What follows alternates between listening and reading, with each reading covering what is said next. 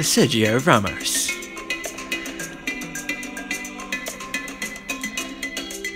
This is a Sergio Ramos in his natural habitat, a habitat of despair and loneliness.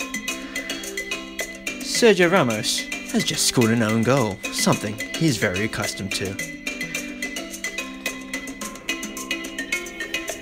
But today, Sergio Ramos is out for redemption, a change from his natural habitats.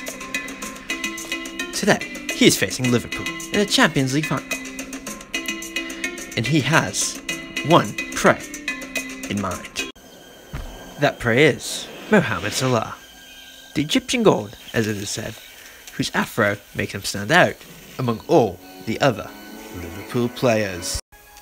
Thus, Sergio Ramos will be looking to target him in the Champions League final. And unfortunately for Mohamed Salah, Sergio Ramos almost always gets his wish.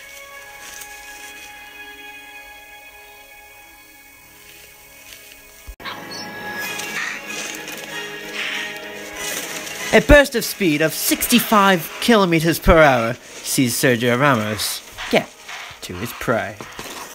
Liverpool's Champions League hopes are over in less than 30 minutes after the final started. kind of a harsh challenge because he, he, he- the, arm is there. It's like wrestling a little bit. Was unlucky. Luckily for Salah, he is able to walk off the field alive, unlike many of Sergio Ramos' victims. Scarred, but alive for Mohamed Salah, and he lives to play another day.